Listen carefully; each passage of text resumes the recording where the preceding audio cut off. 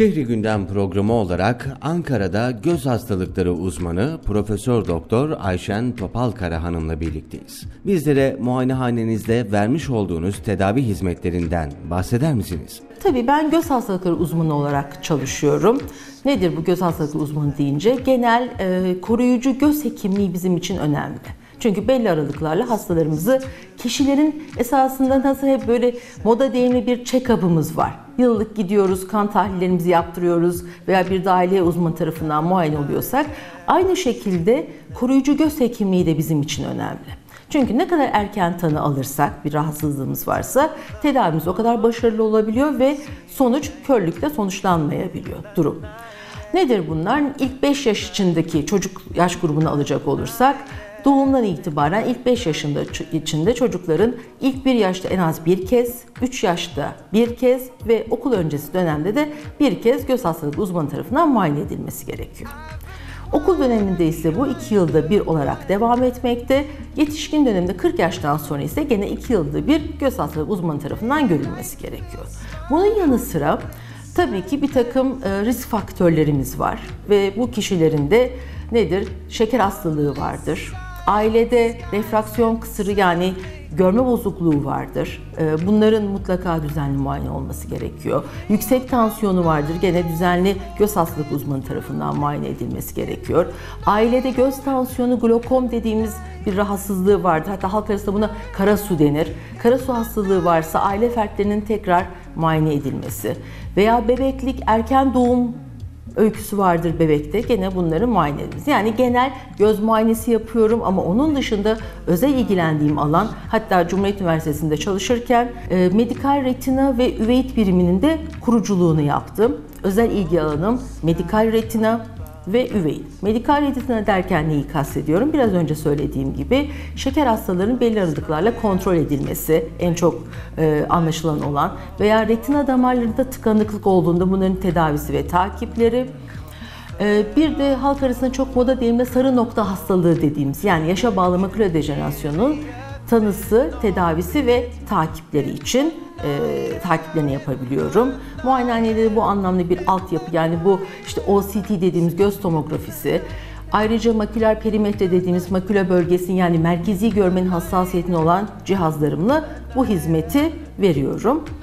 E, bunun dışında daha önemlisi ne yaparsanız yapın. Evet biz biliyoruz e, körlüklerin %80'i önlenebiliyor erken tanı aldığında ve tedavi edildiğinde ama hala daha Gelişmeler çok fazla. Doğru, e, tıp alanında, göz alanında da ama hala daha tedavi edemediğimiz küçük bir grup var. E bu grupların üretici olmaları ve toplum hayatına katılabilmeleri için de az görmelerinin desteklenmesi gerekiyor. Yani az görme rehabilitasyonu da diyebiliyoruz buna veya az görmenin desteklenmesi olarak da ifade edebiliyoruz. Muayenehanemde bu hizmeti de sunuyorum bizlere az görmeyi ve az görme tedavisini anlatır mısınız? E, tabii önce ben az görmenin tanımından bahsetmek istiyorum. Dünya Sağlık Örgütü der ki kişi eğer onda 3 ile 0 %5 arasında görüyorsa az görendir ve görme alanı 20 dereceden daha azsa. Ancak bu yasal bir tanımdır.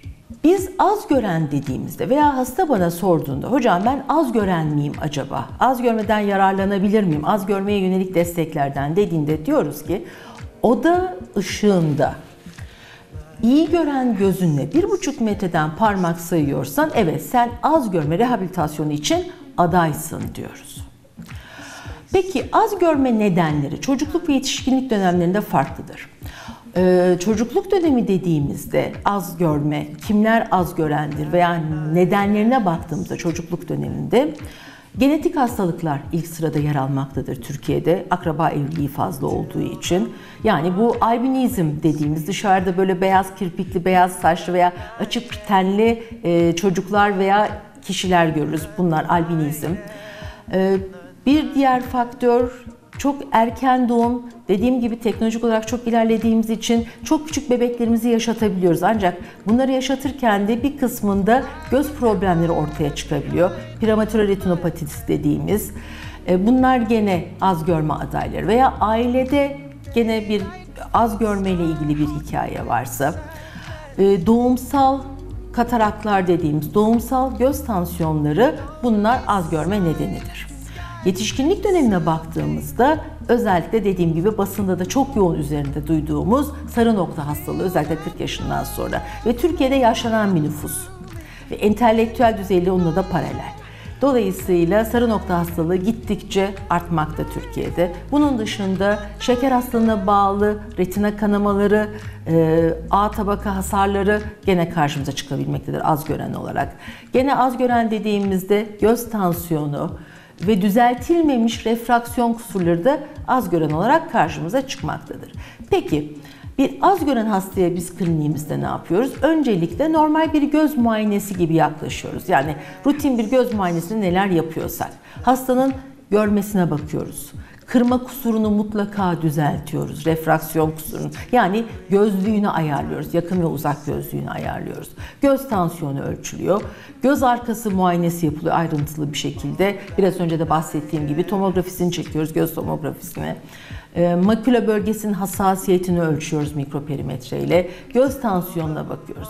Ve hastaya bu az gördüğün için neden şikayetçisin sorusunu soruyoruz. Çocukluk dönemi bu 0-3 yaş grubunda anneye bir takım bilgiler veriyoruz. Evde neler yapması gerektiğini. Okul döneminden itibaren düşünecek olursak artık bu çocuk okulda okur yazar hale gelmesi gerekiyor.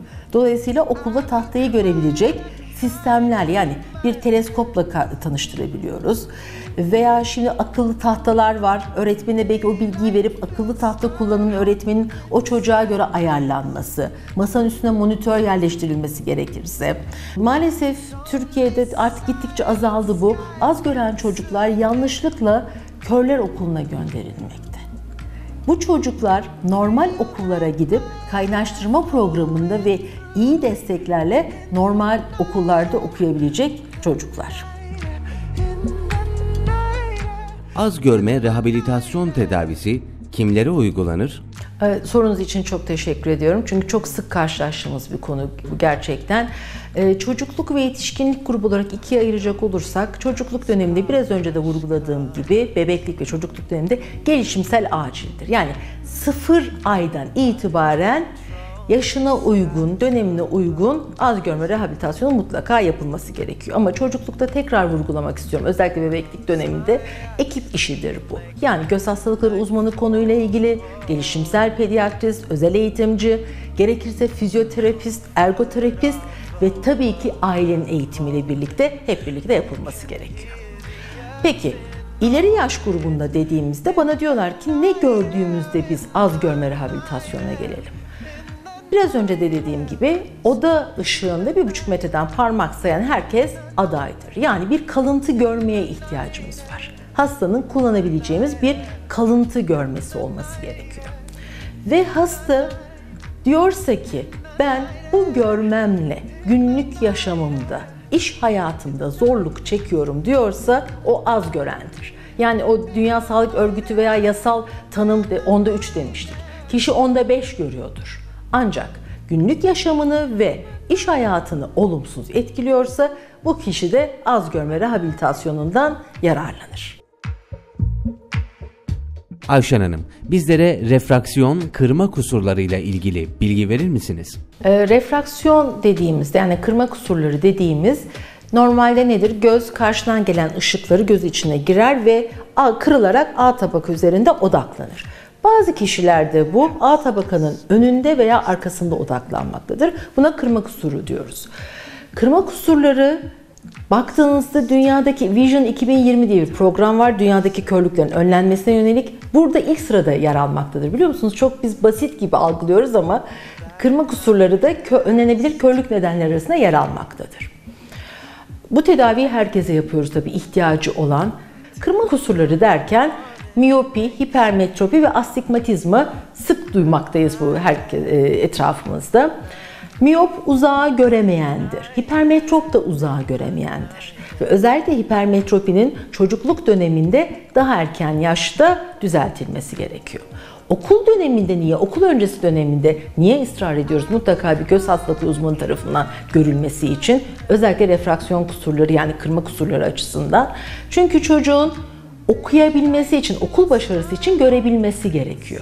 Muhtemelen ya tahtayı göremeyecek, ya yakında yazıyı yazamayacak ve çocuklar yetişkin biz yetişkinler şeyi biliyoruz. Görmemizde bir terslik olduğunda, göremediğimizde bunu fark edip ifade edebiliyoruz. Ama çocuklar zannediyor ki zaten öyle görmesi gerekiyor. Fark edemediği için mutlaka muayene edilmesi gerekiyor. Ve hatta öğretmenlerden zaman zaman şöyle şikayetlerle de sonradan bize anneler babalar gelmektedir. Bu çocuk çok yaramaz, çok hareketli, yazısı çok kötü, dikkati dağınık.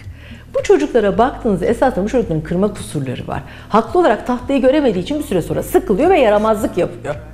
Tabii ki yazısı çirkin çünkü görüp yazamıyor. Satır kaydırıyor astigmatizması olduğu için.